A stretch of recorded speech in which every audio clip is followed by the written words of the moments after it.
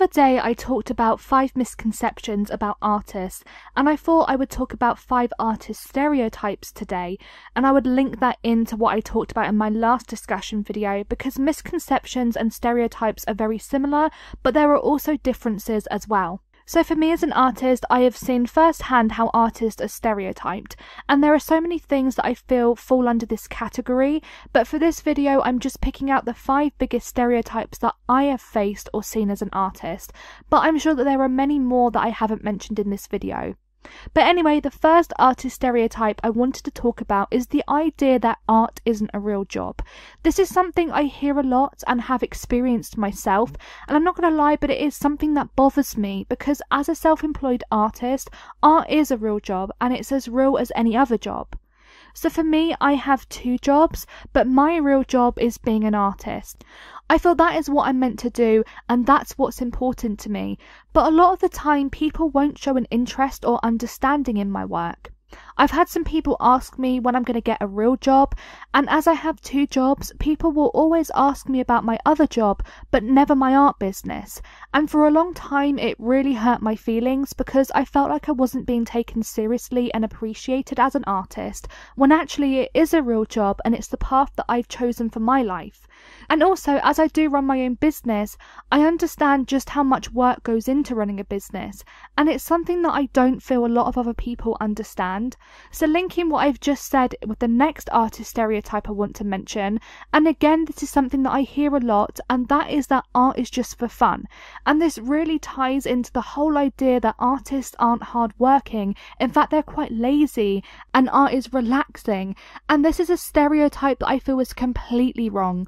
Even when I was at school, hands down art, although it was my favourite subject, was the hardest subject I did because of how much time and effort goes into producing artwork.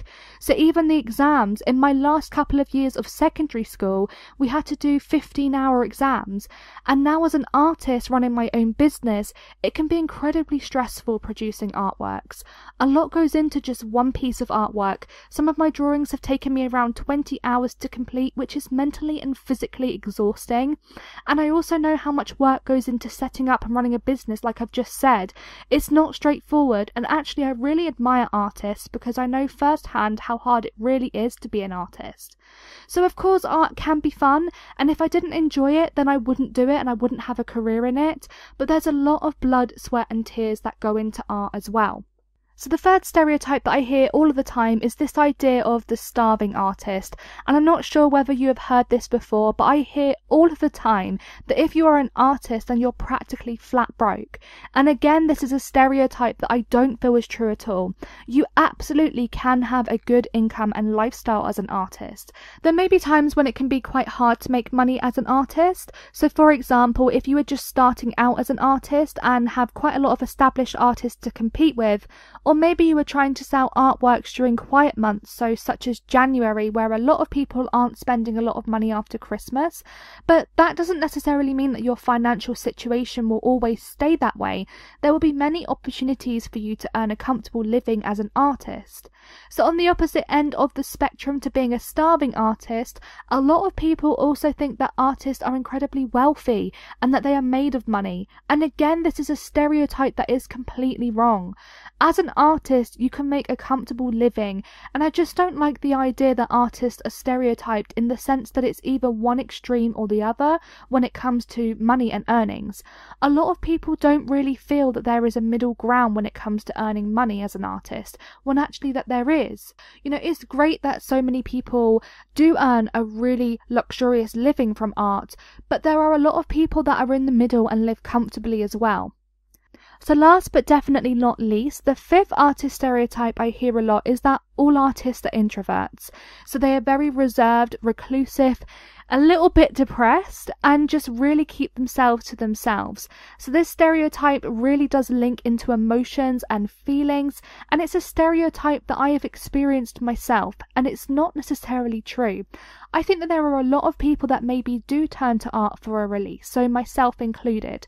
Sometimes I just feel that I do need to be left alone, and I do find art therapeutic and an escape sometimes, but I do also have other things going on in my life too, and I do have a life outside of art as well.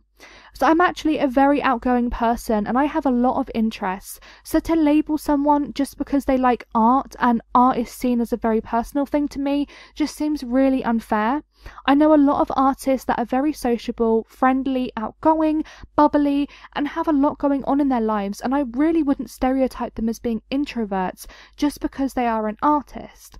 But anyway, those were the five artist stereotypes that I feel are quite often wrong. But what do you think? Do you have any artist stereotypes that you feel are wrong? Or are there some stereotypes that you feel ring true? Let me know what your thoughts are on this topic in the comments section below. But just remember that this is a fun topic of discussion and to encourage a friendly debate. So please be mindful and respectful of other people's comments as well. But anyway, guys, that is it for today's discussion. Thank you so much for watching today's video. If you enjoyed this video then don't forget to subscribe to my channel and hit that notification bell so that you never miss an update from me. I upload art related videos three times a week and I have a list of all of the materials, products and equipment that I use in the description box down below. But anyway, I look forward to seeing you all soon. Bye everyone!